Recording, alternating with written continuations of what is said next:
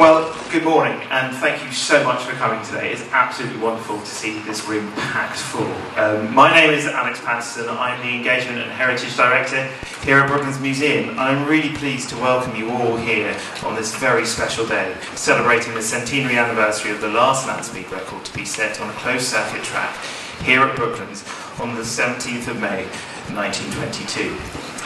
It's really important that we keep these past endeavours alive, remembering that 100 years ago, these brave individuals were pushing what was then new technology to its limits, to set new records and to continue humans' insatiable quest to be the fastest on land.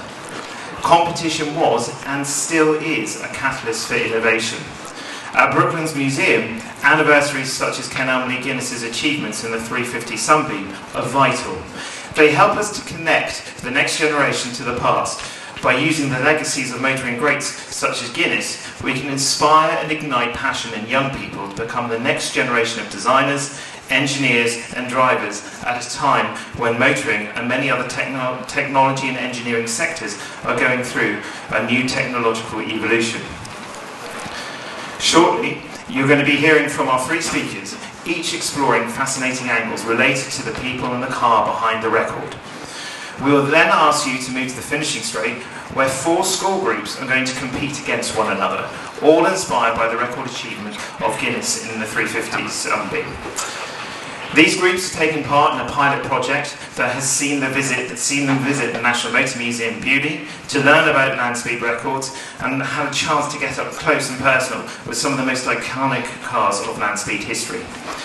Each group has been given an identical remote control car, minus its coachwork, and they've been given a set of rules and regulations on what they can and can't do to design and build their own version of a competition car. They've had two weeks to prepare, and today they are here to compete in the spirit of Landspeed Record and in front of a crowd to see who will be the fastest. This has been an exciting collaboration that has been enabled through the Landspeed Record Centenary, and students and teachers alike have become immersed in this fantastic history. Now, before I introduce our first speaker, I would like to thank our project partners who have made uh, this day and supported us and contributed to, to this fantastic event. I'd like to say thank you to the National Transport Trust, the National Motor Museum Trust, Steam Dreams Rail Company, and of course the home team here at Brooklands Museum. Much time and energy has gone into mark this special day, and I'm truly grateful to everyone who's been involved, making this a fitting celebration to those bold pioneers of speed 100 years ago. And without further ado, I'd like to introduce Oliver Heal. Um, I would like to say that we'll probably take questions at the end, so we'll go through the speakers, and if anybody has a question, we'll, we'll try and answer them before we need to go out to the finishing straight. But I will now hand over to Oliver Heal. Oliver. Um, my task this, this morning is to introduce you to the, the people behind the 350 horsepower. Uh, the, setting up the records 100 years ago. But it's been uh, suggested that I should also mention that this uh, we, have got descendants here from all the people involved, and it would be fitting to, to salute. I mean, we have here in the front row, I think, an unprecedented gathering of Guinness descendants um, uh, that we have here, which is wonderful. Um, but we've also got uh, descendants of Malcolm Campbell, who, who had the car afterwards. Uh, we've got descendants of uh, John Marston, who was the founder of the Sunbeam Company. Uh, we've got descendants of, of uh, Jack Ridley, who was one of the leading mechanics that I'll, I'll talk about later. Lord Montagu, of course, who looks after the car, but who, whose history goes back uh, a long, long way it. And we've got descendants of, of Louis Coatalen, uh, the, the chief engineer.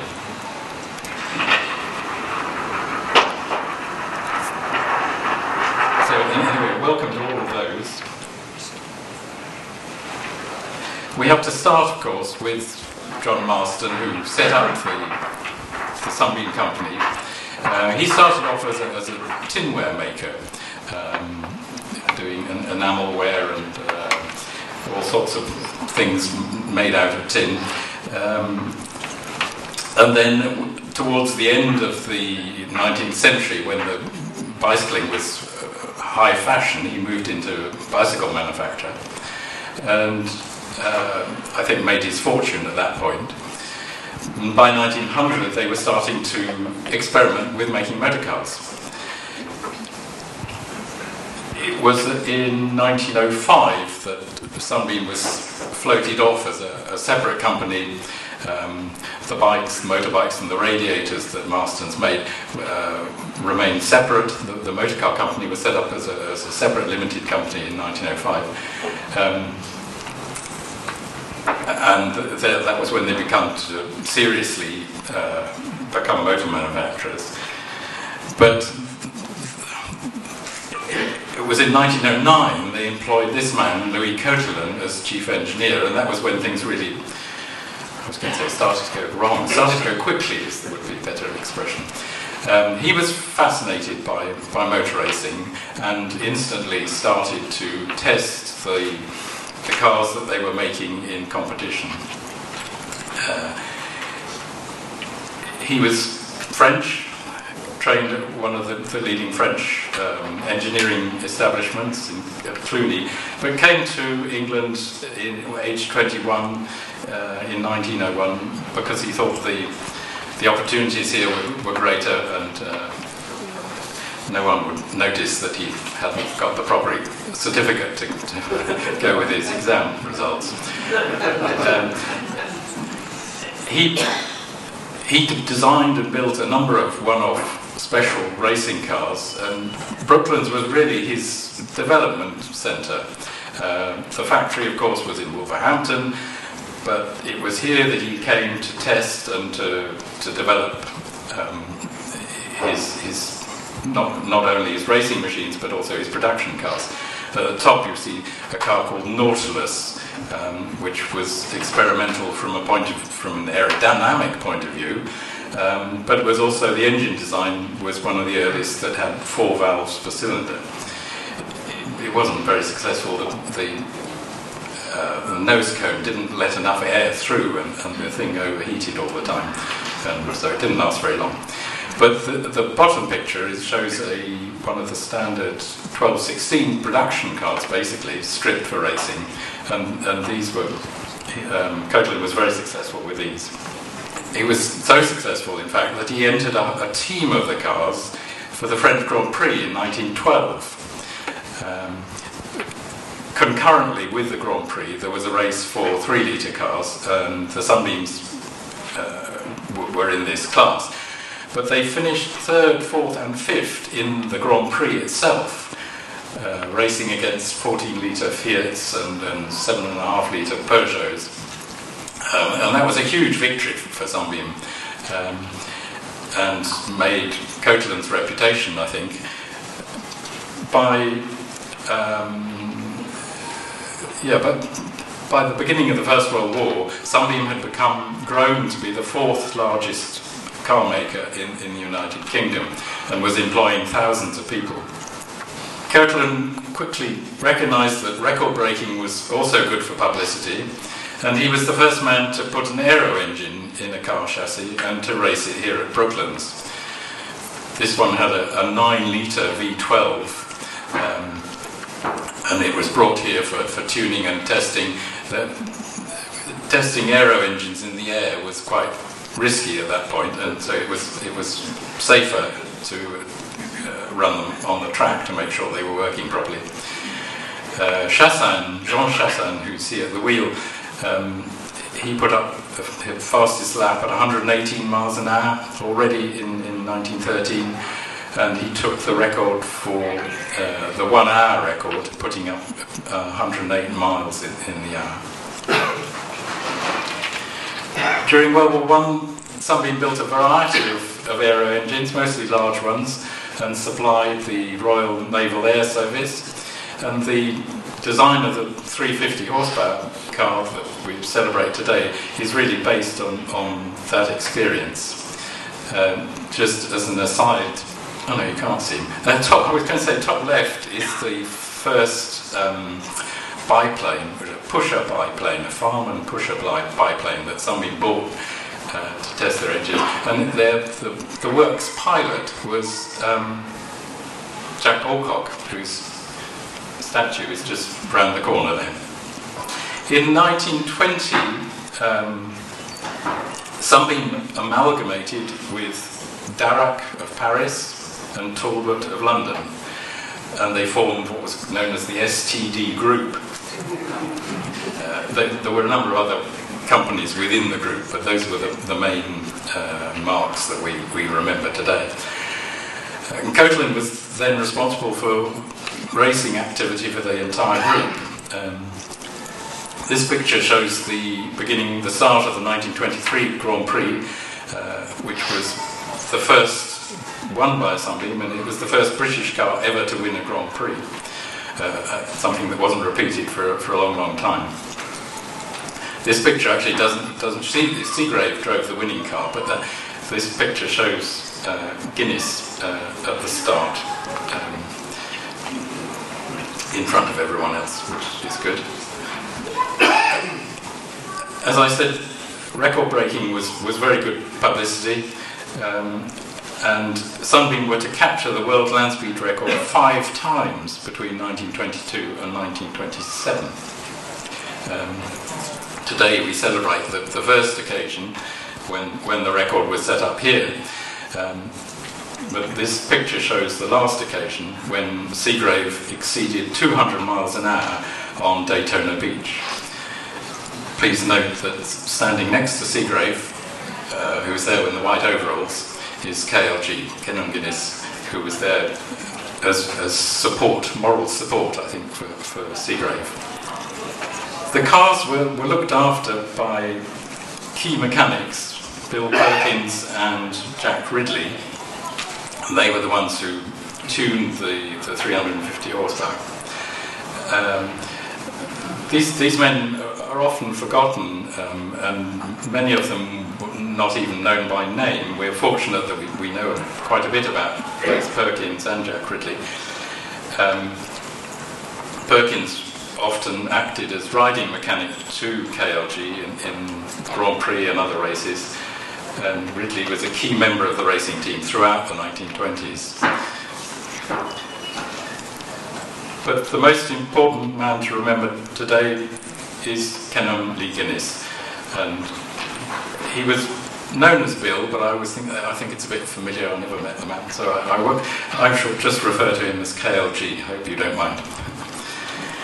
He started out uh, when still a student at Cambridge, I think, helping his elder brother Algie with the 200 horsepower Darracq V8, which we also have here today, which is wonderful. Um, he spent a lot of time worrying about improving sparking plugs and eventually uh, set up the very successful KLG spark plug factory at Kingston. But his relationship with Coatalen goes back as far as 1908. Um, they raced together on the Isle of Man, uh, driving Hillman Coatalen cars, not very successful that year. And then from 1913, KLG became a regular driver for Sunbeam, uh, record breaking at Brooklands and, and driving in Grand Prix. His first major victory was in 1914 when he came won the Isle of Man Tourist Trophy race. And in the centre there, you see Coatalen congratulating Guinness after, after the finish of that event. As soon as racing started again after the First World War, KLG was back in action um, as soon as it was possible. There's, there's, not time to go through all his racing successes, but perhaps just to highlight that I think 1922 was his best year. As well as setting up the land speed record here, he was very successful with the one and a half litre Talbot Darracq uh, racing cars. Um, uh, there was usually a team of three cars, and he won the 200 mile race here at Brooklands in 1922. He also won at Le Mans in the Voiturette race and the Spanish Penya Rhin Voiturette Grand Prix. So it was, it was really quite a, a grand slam. Sadly, 1924 brought his racing career to an end. on a very slippery track in the Spanish Grand Prix, his sunbeam hit a wall. Um, both he and his mechanic were thrown out, and the mechanic, Tom Barrett, was killed. KLG was badly injured, and although he recovered, he never raced again. So I'd like to finish with this picture of, of today's hero, which to me seems to sum him up. He was a very capable and brave driver. And what strikes me is the contrast between today's Grand Prix drivers um, and this man in a tweed jacket with a tie and a pullover and a little knitted hat setting off to race round the circuit you have to remember that it was also highly likely that a tyre would burst while he was out on the circuit. Um, uh, so he was risking his life regularly and frequently. Today we salute you, sir, and all the team. Thank you.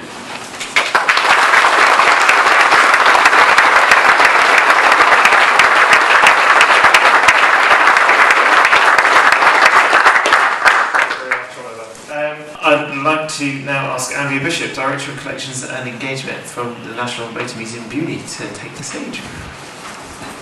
Hello, thank you, Alex. Good. Absolutely delighted uh, to be here with you uh, this morning uh, as we all come together uh, to celebrate the centenary of the 1920 350 horsepower Sunbeam taking its first world land speed record in this very place. Very, very special day.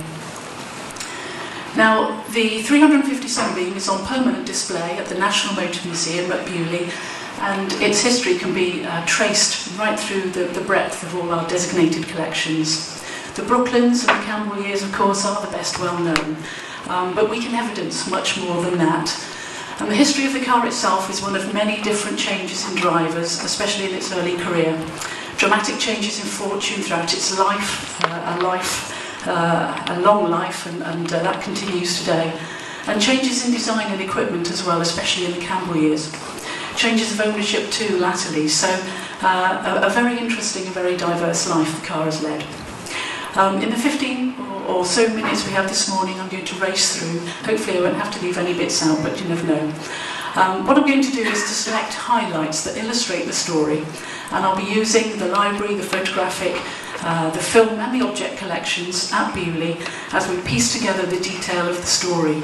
There are there, there'll be snapshots only viewed through the lens of those collections. So that's the approach that we're going to take. So I'm going to start at the beginning uh, with this lovely uh, photograph uh, of the Sunbeam taken May, June 1920 uh, in the Moorfield uh, Sunbeam Works. And you'll notice that the car has artillery wheels at this time. And we'll see this photograph again used uh, in a moment in, in, a, in a press article. Lovely photo there of the 18 litre uh, engine, uh, 350 horsepower, uh, V12. Uh, the, uh, the, the banks are inclined, cylinder blanks at, at, at 60 degrees, and each has a different stroke uh, and a single overhead camshaft. And uh, very complicated engine, Doug will tell you that, and that's as technical as I'm going to get, but that's a, a, a, lovely, a lovely image. And we've heard already that this car didn't start the aero engine, uh, you know, racing in, in cars, but it did popularise it. So it's a very important vehicle. There was loads of press interest. There was loads of uh, loads of interest and uh, support for this this wonderful new car that was going to appear and do wonderful things. And we can see a few examples here from well-known motoring journals that uh, we can find in our library at Beaulieu. Three miles a minute, um, and uh, then an, another article from the motor uh, that overestimates the power of the car, but nevertheless gives us some lovely images of the chassis and the engine. And, uh, and then this piece uh, from the autocar, and uh, that's that image that we saw in the photograph in the previous slide. So lots and lots of interest in the potential of this wonderful new car. These images uh, show the, uh, the unfortunate reality uh, following all that press hype of, of the first appearance uh, at Brooklands. And really, um, through 1920 and into the earlier part of 1921, the car had some mixed luck uh, with different drivers at the helm, very inconsistent performance. Uh, during practice for its debut, uh, debut race at Brooklands, 19th of June, uh, sadly, um, Harry Hawker crashed at 80 mile an hour. Happily, he wasn't hurt and the car wasn't badly damaged after, but after that crash, those uh, uh, wire, um, uh, the wooden artillery wheels were changed for wire spoke. So uh, this this image I've included because the car looks so weird. It looks like a different car, doesn't it? You can see now that it's got um, uh, wire spoke wheels. And uh, this image is René Thomas competing at the Gaillon Hill Climb near Paris in October that year. He did very well, but in the photograph the Sunbeam looks uh, strange because it was rigged up with a second seat and it was carrying lead ballast uh, in lieu of the passenger uh, seat that the rules required. So uh, into 1921, though, those inconsistencies, as I said, were, were continuing. And um, this little article from the Autocar, you can tell that people are, are willing the car to do better. Come on, uh, maybe the next time out things will things will be improved. Um, sadly, on, uh, that, uh, on that occasion, Captain LG uh, Hornsted had poor results and, and also unfavourable handicapping, so it wasn't it wasn't to come true. But the reason I, I chose this race is that we've got this, uh, this lovely race card uh, in the collection. I'm sure Brooklands have got a much more pristine example than we have. What I like about this is the immediacy of taking you back to this place uh, 100 years ago, or, well, uh, and more for this one. But um, you can see that the, the chap has uh, wandered around looking at the racing, looking at the form, enjoying the cars. He's folded this uh, race card and popped it in his pocket for convenience. So I think that gives us a lovely uh, immediate and human connection. Uh, from September 21, uh, as I said, the Sunbeam was uh, driven by a number of people with better results. And uh, just highlighting this one with Ken Lee Guinness, uh, had a very successful day at the 1921 autumn meeting. Uh, the left uh, image on the left is from our photographic uh, collection, and I'd always wondered what that um, rather crude paintwork was on, on the image. And you can see uh, from the autocar uh, extract there that it was used to give some really crude highlighting in the uh, to dramatise the image. So, moving on then to uh, the first world land speed record and the reason that we're all gathered here today. And um, Kenelm Lee Guinness, of course, took uh, the world land speed record with a flying kilometre of 133.75 miles per hour. And um, in this photograph, you can see that the rear wheels appear static. You can't see the spokes. That's because they're turning already. And uh, the car is, is getting ready for the off. The front wheels, uh, by contrast, appear to be still. Um, in this uh, image here, you can see that there was rubber left on the track as the car pulled away. Uh, and uh, the timing tape was also uh, damaged, but still operable. So again, much like that image previously, I think there's an immediacy here. You can almost hear the, the, the, car as it's revving and ready to go, smell the, uh, the burning rubber as the car took off. So, uh, so some lovely things in the collection that can bring things to life. So um, if we move on to Malcolm Campbell, uh, 1923, um, uh, he borrowed the car to go to uh, Saltburn Speed Trials in June 23, and he set an unofficial world land speed record there. Uh, he rather liked it, so then he purchased the car, I don't know how much for, and um, then he took it to Fanø and set another uh, unofficial world land speed record. And uh, we see the car is now beginning to change in this lovely uh, image that's annotated by Campbell that's in our photographic collection. And there's a Union flag has appeared on the scuttle, and those famous sunbeam words have now disappeared from the bonnet. So in 1924, obviously major modifications with, with Campbell. Uh, happened during the, the first half of the year. So the body was significantly modified, as recommended by uh, aeronautical engineers uh, Boulton and Paul of Norwich, Uh, the car was tested in a wind tunnel uh, and uh, the body was built by Jarvis and Sons of South Wimbledon. The new streamlined body had a wider cockpit, a longer tail, uh, fared-in headrest and rear springs, and the detailing was so precise that even the external handbrake had a little layer of aerofoil fitted to it. Uh, ace wheel discs were fitted on and off. Campbell tried lots of different configurations. Um, and this is how the car appeared at the Skegness uh, speed trials um, Skegness speed trials. Uh, on uh, the 21st of June 24. So we know all those modifications were done, were done by then.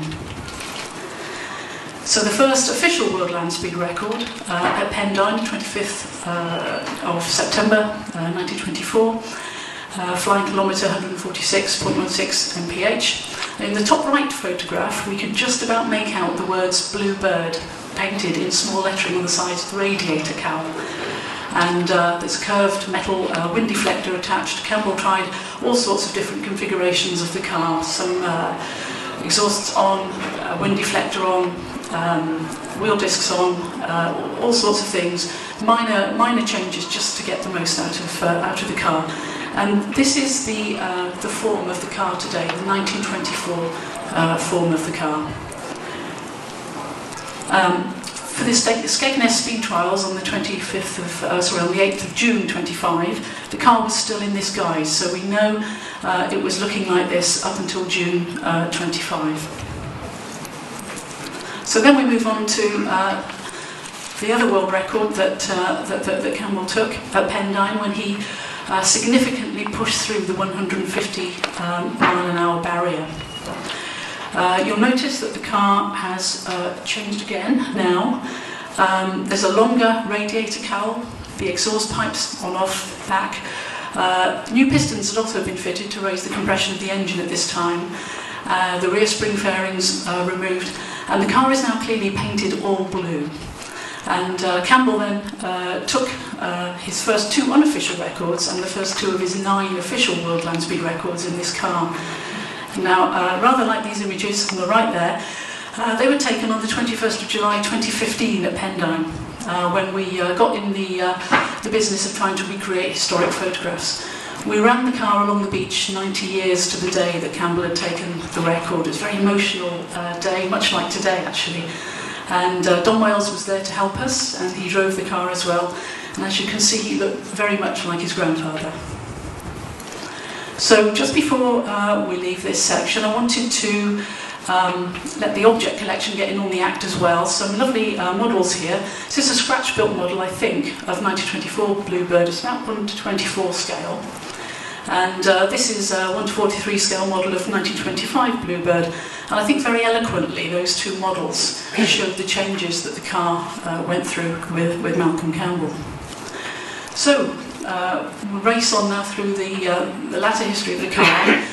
Um, following the record-breaking successes, Campbell uh, sold the car for uh, £250 in 1925 uh, and part exchange uh, of Ralph Aspdon's Grand Prix Vauxhall as well. And uh, this, uh, this image shows him at Southport Sands and uh, in an article in uh, Motorsport in 1958 he reckoned he used it occasionally on the roads as well, which must have been quite hair-raising. Uh, the selling price is referred to in this letter from Malcolm Campbell to Harold Pratley. It's dated 13th of April 1944 and this is from our archive at the museum. And in that letter, Campbell stated that uh, he'd offered the car to Parry Thomas uh, or that Parry Thomas rather had offered him £1,500 for the car in 1923. And uh, Campbell also said that the original tail was probably still in the car, but it contained the, contained the petrol tank and he'd built the longer tail over it. And indeed, uh, Doug, that's what you found, wasn't it? So changes in ownership. Um, Jack Fielder, the Sunbeam, for a short time from July 1934. At that time, the car was painted all white.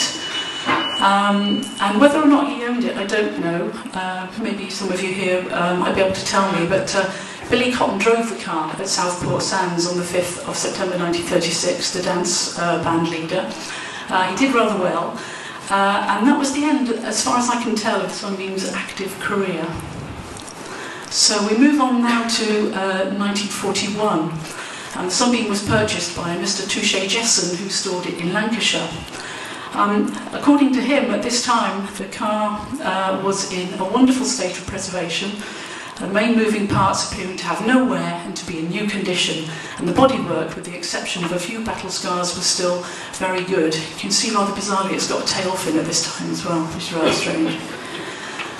Harold Pratley, uh, then of uh, South Woodford in London, had been tracking the car for some time and he finally records finding it on the 2nd of July 1942 had apparently been stored in the open, the unpainted parts had rusted, engine was covered in white powder from decayed aluminium, and um, uh, the copperwork had turned green. So very sad, uh, very sad uh, decline.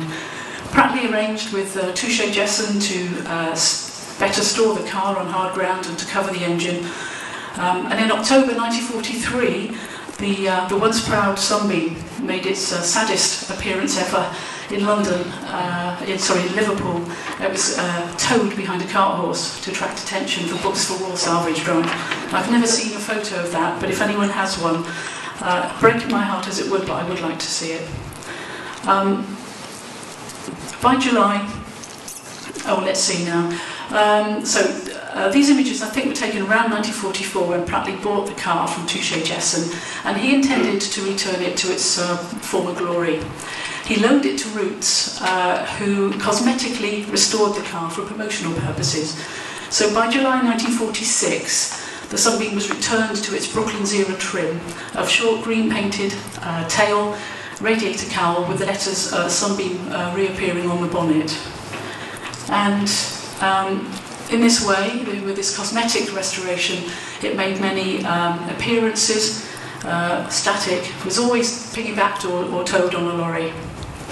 And uh, one of those uh, appearances was the 1946 Society of Motor Manufacturers and Traders Jubilee Cavalcade across our major cities. Um, in London, uh, there was a nice, uh, there was uh, King George V was present and the Queen. Um, and this photograph from the Belfast Cavalcade, I don't know if you could spot the deliberate mistake, but there's a false claim on the side of that lorry that Segrave drove the car. And here's quite a different programme, uh, the Midland Cavalcade, all these are in our library. So the beginning of the Beaulieu years, and uh, Lord Edward Lord Montagu purchased the car in late 1957, and then 58-59 uh, there was a rebuild uh, in the Montagu Motor Museum workshops after curator Michael Sedgwick. I never met him, I wished I had. Uh, never a man to mince his words, he said the car was near scrap. Uh, when, when uh, it was brought uh, to the museum. The bottom left photograph uh, was taken uh, in the Montagu, the new Montagu Motor Museum in 1959, and the bottom with Edward Lord Montagu, the bottom right, was taken probably in the early 1960s. So uh, at this time the car is in good shape, it's on display in the museum, it's making a few guest appearances at Oulton Park and, and Goodwood. Last time out, as far as I can ascertain, this was the last time out of the, of the car, was the uh, Festival of Motoring at Goodwood on July the 14th, 1962. Uh, Lord Montagu drove it on a, a three-lap demonstration run with um, uh, problems from the gearbox, as, as was the car's habit. Uh, and uh, this uh, is a lovely uh, image of uh, Donald Campbell with his father's old Sunbeam. He drove it on the lap of honour as well, and Leo Villa is there with CM7. So um, just before I hand on to Doug, restoration at Beaulieu. Um, Doug, of course, will take us through that in a minute, but it's not the first time, as we know, the car's been in the workshops at Beaulieu. As I said, it was rebuilt in 58. Uh, in 59, uh, there was an engine overhaul, new fuel pump, fuel tank, and a truck gearbox was fitted. And then in 1987, the car was uh, completely remodeled and rebuilt to reflect that 1924 record-breaking form with, with Malcolm Campbell. Uh, six years after that, uh, in 1993, the car was prepared for an important Sunbeam anniversary event, at which we hoped it would run for the first time since 1962. Time was tight, uh, but the car was prepared, and we all gathered on the arena at Beaulieu to hear the mighty roar of the Sunbeam after 31 years of silence. The car ran under its own power for a short time, but then disaster struck uh, as a conrod and piston pushed right through the sump and crankcase. Uh, the Sunbeam, uh, of course, made many static appearances in the uh, intervening years, but Doug, Stan and the team at Beaulieu have made the car whole again after a long-term restoration project. So um, over to Doug.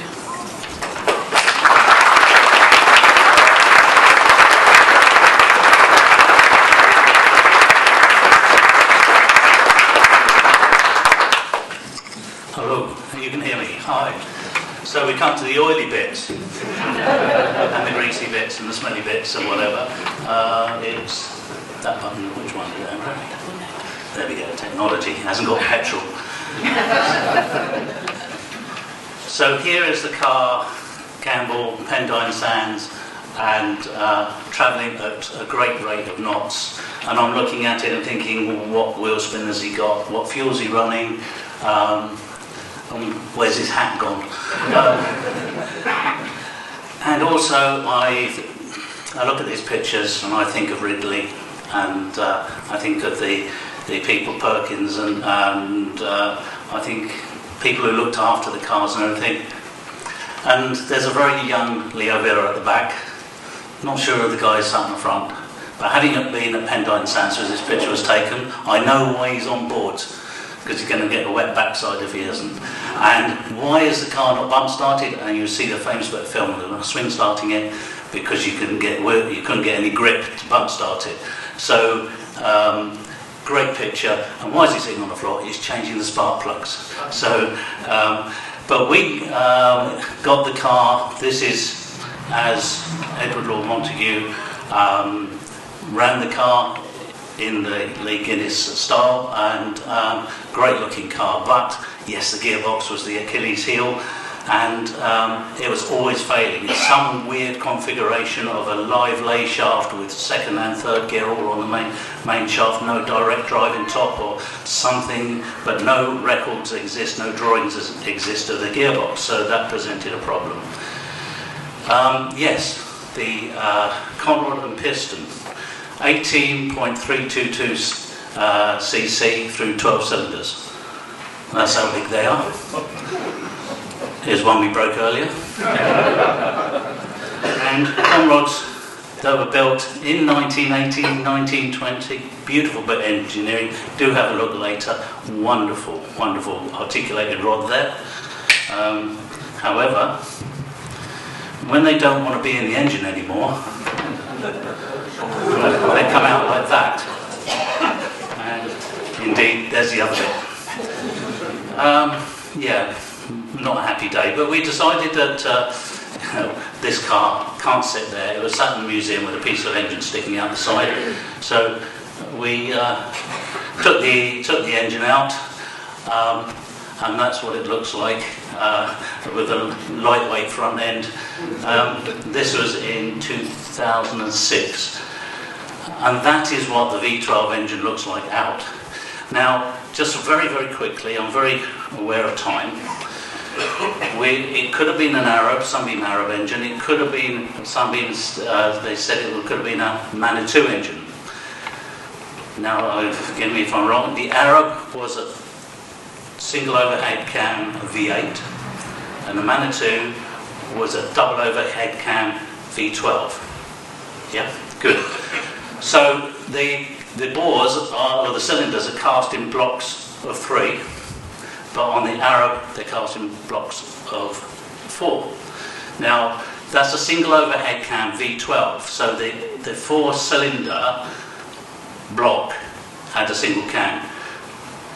That's a, four, that's a three cylinder block with a single cam, so it couldn't have been either engine.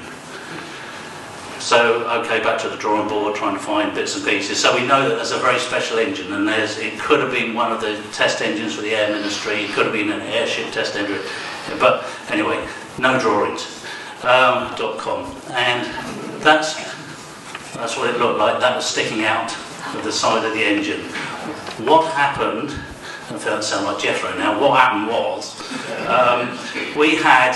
Um, we were given a solvent because the car ran on Castrol R and we were given a solvent to flush all the Castrol R and we flushed it and flushed it and flushed it. But however, when we ran it, a piece of Castrol R, a bit of jelly got in the oil gallery and blocked the oilway. If you look at the next picture, you'll see where it punched its way out.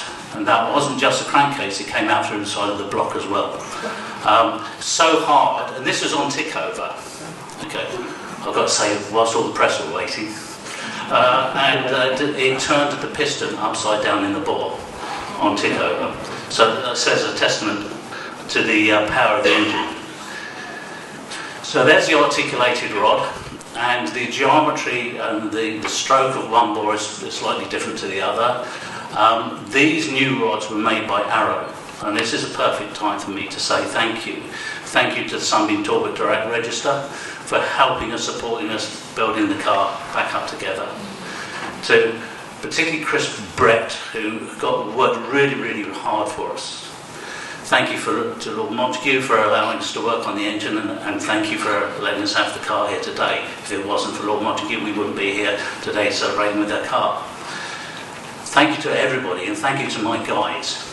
And it's the guys that make the oily things work. And uh, there's Stixie, he's, he's a bloke with a stick, Michael. Stan, who's driving it, he deserves to drive it. And all of the volunteers. And over 2,000 hours, two, about 2,300 hours just on the engine, but mainly volunteers. And that's uh, a bit one, but you're welcome to have a look and see what we've got here. So, and that was a piston that was upside down. That isn't, that is, that's the piston that was upside down. But then we had new pistons. Sadly, the pistons were remanufactured direct copy of the original. It's not what we asked, so it's still running on high compression. We didn't want that, but still, um, I'm not going to drive at 150 mile an hour, that's for sure. Um, and there's the end of the single overhead camshaft, and we actually found that there was no way of retaining the oil pressure in the uh, in the camshaft either in the configuration. But just to show the complexity of what what was built at the time and what we were faced with. That is one cam gear, and you see the lightness and whatever, and the cam followers, etc. That's it all. There were new springs, new valves, etc. Reprofiled cam. That's the only drawing we had of the wrong engine.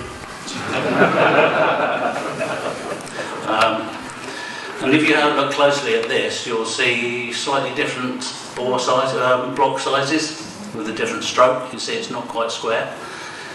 And then you, there's no timing marks, so if you take a gear off and you turn the engine, you're stuck. Now we couldn't turn this engine, we couldn't put it in the right place to take it apart. So when we took the timing case off, a lot of the guys went down the pub. and I had to get them back because they were faced with that lot. The only way I could get them back was with donuts. So it took a lot of, a lot of thinking about. Um, this is the, the configuration of the crankshaft, and you can see the residue in the end of the crank of the old Castrol R, and that's what we had to flush out and whatever. And here we have it, thanks to formal engineering, formal racing, for doing all the um, the metaling, etc., on it, and white metaling, um, Terry formals, and you can probably see top left where it's stitched together um, by Sherlock and it was all metal stitched. You can see the metal stitching there holding the thing all together. No heat involved which is brilliant. And then screwing it all together with a nice bits but then we found there's lots and lots of bits that bolted onto the engine that were falling apart such as all the waterways etc now have a look at that picture. Can you see all those little little bolts? 2BA 316, tiny little bolts. 386 of them. Only two came out. all the rest broke. Thank God for our volunteers. because they made jigs and they actually, we drilled them all out and then retapped them, etc., etc. Hence the hours. And you can't leave it like that because you know all those, those aluminium plates are all corroded. And that's the engine slowly going together, but um, you know with massive carburetors, etc., etc. And just to show the size of that, um, that carburetor, that is four inches across. So um, you know it's uh, it's quite a gas guzzler. And then if you have a look at the conrods, um, the we actually found that the new rods were slightly different, slightly wider in the throat. And we contacted Arrows and they said actually it was an inherent weakness and they would have failed. Okay, Sherlock, you worked that one out. However, the conrod didn't fail. And this, when you think of all the running that car did, the conrods never failed. Those engineers are a lot better than people actually give them credit for. So, so the guys with the oily bits, to our archives, our curators, etc., giving us all the information we can. It's interesting there, there's a, there's a, it says gear for the wireless drive. Okay, no wireless in that one. Um, and then, uh, yeah, how do you, an offbeat V12, how do you time that one? Um, but Stan did it. And then a multi-plate clutch you had to deal with. And a really multi-plate clutch. an awful lot of square footage. But all of that was all stuck solid. We had to soak it for months and months and months. And then the back axle. It, it was a bit squeaky. It didn't sound very oily because that's what happened to the oil. And then bronze back bearings. That's what happened to the bronze back bearings. And then, showing the power of the car, and Andrea was saying about the wheel spins and all of that, if you actually look, that's a half shaft, it's twisted. Um, and what a great piece of metal that is. But then we had the gearbox issue, and that is the Albion gearbox. And spookily enough, we researched it 35 horsepower as rated to, a tenth of what the car was needed. We've now got a Bentley C-type box, which they is bolted onto the back of a very famous Napier Lion engine and working really, really well. So we knew that would, that would do. We tried so, so hard to actually recreate the original gearbox, but it just wasn't going to happen. So um, back to the real world. There she is. Um, we are very, very, very proud of that car. And I am very, very proud of those guys because those volunteers stands out the front. He's driving it today. He deserves to drive it today. Um, to all of you coming, thank you for your support. Thank you to the pioneers of the day, to the families of the pioneers of the day, and to the current record holders, and everybody has supported us in various ways. And we would not have been here today, and we wouldn't be here with, for the car if it wasn't for everybody's efforts. Huge team effort, and thank you to everybody, and thank you for supporting us, the National Motor Museum, and Brooklands, and the Transport Trust. Um, and thank you to Lord Montagu for allowing your car here. So, thank you.